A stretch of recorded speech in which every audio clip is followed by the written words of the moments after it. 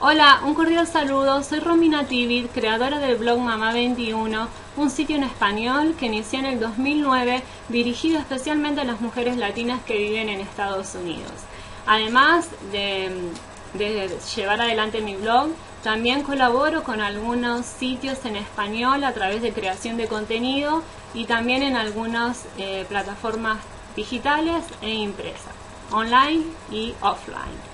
Y también llevo adelante mi, sección blogs en español en about.com, que es un sitio sobre blogging y también, como el nombre lo dice, está en español, así que si quieren aprender más sobre cómo llevar adelante, mejorar hacer crecer e incluso monetizar un blog, me pueden visitar, visitar allí. Quiero agradecerles por la invitación a compartir em, un poco de mi experiencia y todo lo que he aprendido en estos tres años eh, trabajando en plataformas digitales principalmente. Nos vamos a enfocar entonces en las redes sociales. Vamos a ver si las mismas son o no importantes para difundir eh, un blog o una página web y eh, si en el caso de que sean importantes las mejores maneras de hacerlo y para qué nos sirven. Bueno, déjenme decirles primeramente que por supuesto las redes sociales son esenciales en estos momentos en que todo pasa por las redes sociales para difundir ya sea contenido de un blog o contenido, información de una página web. Pero no solo es importante para la difusión, sino, y tal vez lo más interesante de todo, para hacer una conexión con nuestro público. Es una conexión que a través de las redes sociales se da en el momento y nos permite a nosotros eh, no solo llegar de una manera diferente, tal vez un poco más personal, sino conocer un poco más a nuestro público. En el caso de que sea un blog, podemos conocer más y, eso nos permite comprometernos de una mejor manera para entregar lo que nuestro público está eh, esperando de nosotros y en el caso de que sea una página web eh, o una página de un negocio, eh, para conocer mejor a nuestro público, a nuestros clientes, a nuestros compradores. Podemos a través de nuestras redes sociales saber qué es lo que ellos están esperando de nosotros, saber qué opinión tiene el cliente de la marca, saber qué es lo que espera, saber en qué aspectos nosotros podemos mejorar. Em, las redes sociales definitivamente son fabulosas para ello. Si nosotros, em, bueno, me preguntaban en el email que me mandaron qué redes sociales utilizo yo.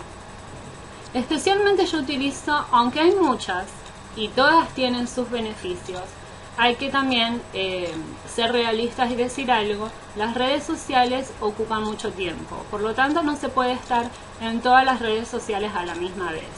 Eh, bueno, yo no lo puedo hacer.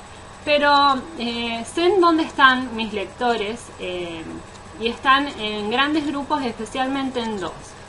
Y ahora hay una más que es una nueva, pero especialmente están en Facebook, en Twitter y ahora comencé a usar Pinterest.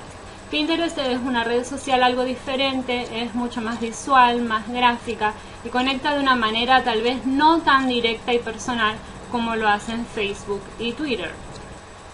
Hablemos de Facebook. Facebook es la red social que más audiencia trae a mi blog. Allí está la mayor concentración de, en específico el grupo que sigue mi blog son mujeres latinas eh, en Estados Unidos. También tengo seguidores de otros países, pero específicamente en Estados Unidos. Y, ellas utilizan muchísimo Facebook, incluso las que son amas de casa, mujeres están todo el día conectadas a Facebook, ya sea desde la computadora en la casa o cuando están en la calle en los teléfonos. Así que la mayor cantidad de audiencia eh, a mi blog viene a través de Facebook. Aunque ustedes podrán ver si visitan mi blog que tengo más seguidores en Twitter. Pero ¿por qué es esto? Porque en Twitter eh, tengo más conexiones con eh, las marcas. Las marcas utilizan mucho más Twitter. Entonces, y si bien mis lectoras también todas están, la, o la gran mayoría utiliza Twitter, en realidad Facebook es la que más me sirve para conectar y conocer a mi audiencia. ¿Cuáles son algunas estrategias que me han dado buen resultado? según yo para, para saber em, eh, qué es lo que buscan en mi blog, tengo instalado en mi blog un, eh, una herramienta de análisis de estadística que se llama Google Analytics.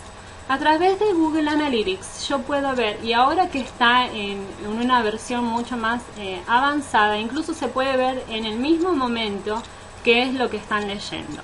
Se puede ver no solo eh, qué es lo que están leyendo, sino a través de, de qué sitio o página o motor de búsqueda vinieron, qué es lo que buscaron, o sea, si, si querían, por ejemplo, ver eh, ropa, ropa para niños, entonces me aparece a través de qué términos ingresaron a mi blog y cuáles a través del paso del tiempo cuáles son los artículos más leídos en mi blog.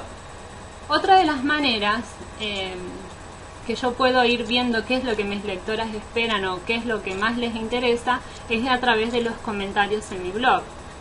Y por último, eh, Facebook, también, Facebook para páginas, también tiene un eh, que no es tan desarrollado como el Google Analytics. Déjenme decirles, haciéndole un paréntesis, que Google Analytics es el mejor para medir las estadísticas y es el más, tal vez, el más preciso. Porque los diferentes medidores de, de, de visitas eh, pueden variar un poco en los números uno entre otro, pero a través de los años el más preciso es Google Analytics que yo he podido comprobar y en el que más confío.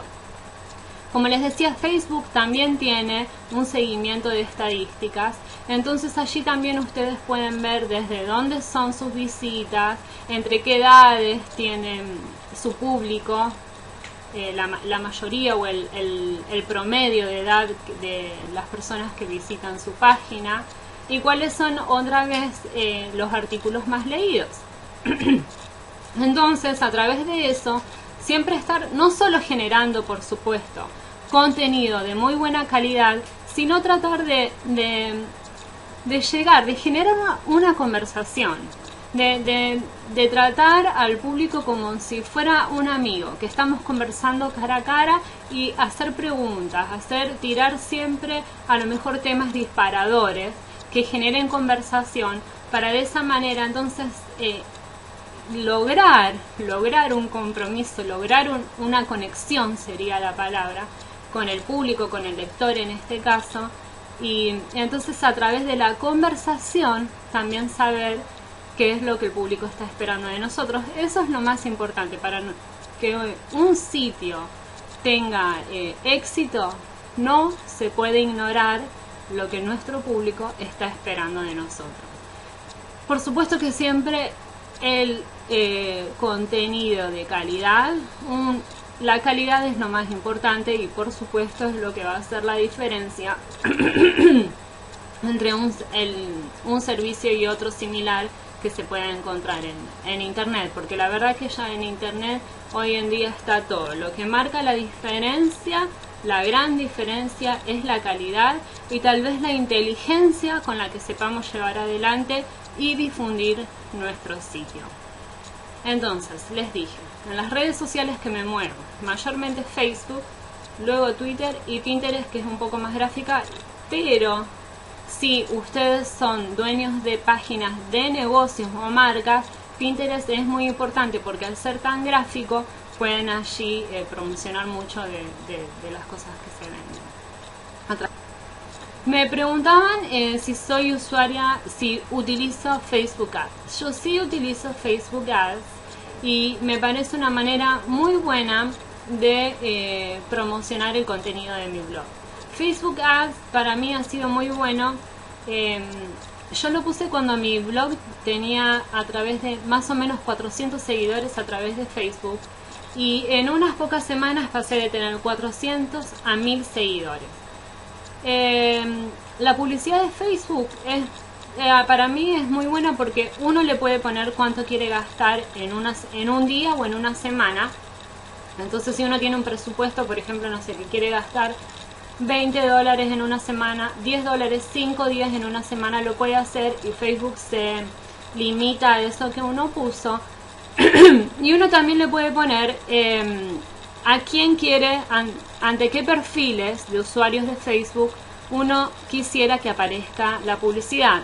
Por ejemplo, en mi caso yo he puesto mujeres que hablen en español, que tengan entre 18 y, bueno, y 18 para arriba de años, y especialmente que vivan en Estados Unidos o en alguno de los países de Latinoamérica, pero especialmente en Estados Unidos. Uno lo puede personalizar muy bien eh, con las, las, características que uno está buscando, eh, en donde aparezca eh, la publicidad de Facebook y lo más importante, cuidar el presupuesto para que uno después no tenga la sorpresa de que le viene una cuenta extremadamente alta. No, eso lo maneja uno. Incluso cuando uno a lo mejor no tiene el presupuesto en una semana, le puede poner pausa a la campaña y cuando se vuelve a tener el presupuesto se la vuelve a activar y, eso es todo. Es, es muy, muy práctica. Lo que sí, Google AdWords no tengo, así que en este caso nunca tuve Google AdWords.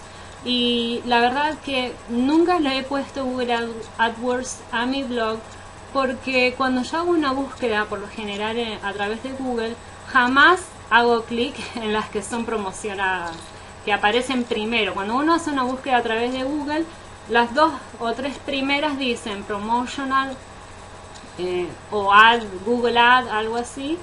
Y yo nunca le hago clic a esas que me aparecen. Entonces la verdad que mm, como yo no lo utilizo no creo que... Y tampoco me gustaría que mi blog apareciera así. Así que bueno, en ese caso no les puedo aportar nada más. Las horas. ¿Cuáles son las mejores horas para difundir, ya sea en Twitter o en Facebook, el contenido? Eh, dicen los expertos en, en análisis de estadísticas que las mejores horas son entre las 9 de la mañana y las 12 de o 1 del mediodía y luego entre las 3 y las 6 de la tarde. en cuanto a estos consejos hay que tener en cuenta que puede ser relativo. Primero, por la diferencia horaria entre el Atlántico, el, centro y el Pacífico. Así que si es por eso, es como que todo el día. Y, la otra que tienen que tener en cuenta es que lo mejor que pueden hacer es ustedes analizar las estadísticas de su sitio y ver en qué horas han sido más visitados. En mi caso, siempre sube y muchísimo la, las visitas después de las 5 o 6 de la tarde. Así que quiere decir que después que, que la gente sale del trabajo vuelve a la casa, em, bueno, se ponen a visitar las páginas en internet. Pero de todas maneras, como les digo, eso es muy relativo y aunque están esos consejos que les decía entre las 9 de la mañana, las 12 del mediodía, las 3 y las 6 de la tarde, Recuerden eso, de que en el, país, aquí en Estados Unidos, hay diferentes eh, franjas horarias y entonces puede ser muy relativo. Em, sin embargo, eh, sí hay una y gran marcada diferencia con los días de la semana.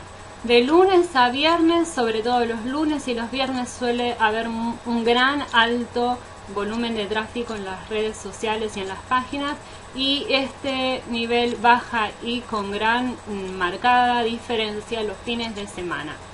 Sin embargo, hay algo que podemos tener en cuenta. Como los fines de semana la mayoría de la gente no sube contenido a la red por el hecho de que hay supuestamente menos gente eh, utilizando eh, ya sea las redes sociales o las páginas, podemos aprovechar para hacer la diferencia y subir contenido. Entonces, atrapar la atención de aquellas personas que sí están utilizando la red. Es una, una prueba que se puede hacer a ver qué resultado no. Pero sí, los, fines, los días de semana, de lunes a viernes y principalmente los lunes y viernes son los días que más eh, tráfico se puede detectar en las redes sociales y en la red, en la red en general. Consejitos sobre lo que no se debe hacer sobre lo que no se debe hacer. Yo creo que lo más importante que se debe evadir es tratar de ser alguien que no se es. Ya no, importa que no, que, no seamos un blogger, que, que, seamos, que seamos la representación de una marca. De todas maneras, no tratemos de dar o de darle una impresión de algo que no somos porque en definitiva atrás de las computadoras hay personas y las personas lo sienten.